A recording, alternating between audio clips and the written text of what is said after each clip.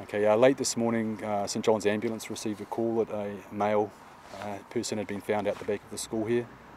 Uh, police were called by ambulance. Uh, deceased male was found. Uh, there was no chance to revive him. So the scene's been frozen and um, police are currently investigating. The circumstances are really, there's no nothing further I can add to that at the moment. So What, what sort of injuries does he have? I can't make any comments about that at the Do, moment. does he have injuries? I can't make any comment about that. Is there, is, does he have any association with school, children here? Or? We're still determining exactly who he is at the moment. So. Yeah, uh, we